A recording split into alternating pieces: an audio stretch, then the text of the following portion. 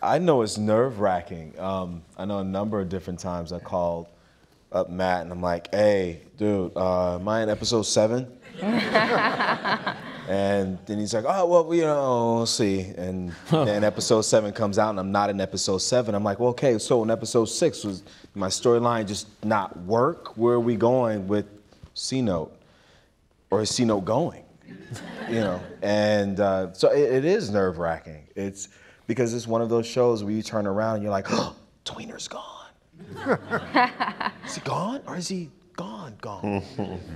you know, it's in one general, you're It's- already agreeing to terms with a lot of these guys before the season. You know, um, even if we wanted to kill, say, someone like Dominic, he's he's literally he's he's he's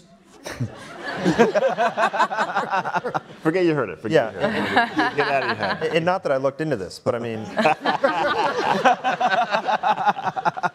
No, but in general, you, you make these agreements, uh, uh, contractual agreements with the actors and their representations before they even hit the screen. You know, so Dominic's, you know, guaranteed for all 22 episodes. So you can't all of a sudden go in episode three he's dead. It just doesn't work that way. So in that sense, there, there's a sense of work stability for the actors in that.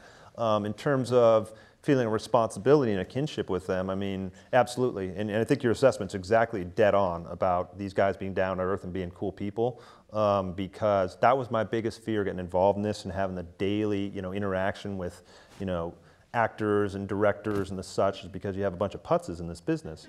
And to a person, they're all really, really great people, you know. And so you feel for them when you're going to kill their character off.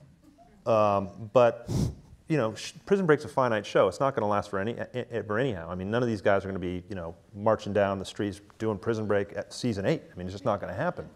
And so, uh, Really, you sure? Prison Break on Mars. Don, is that your plan?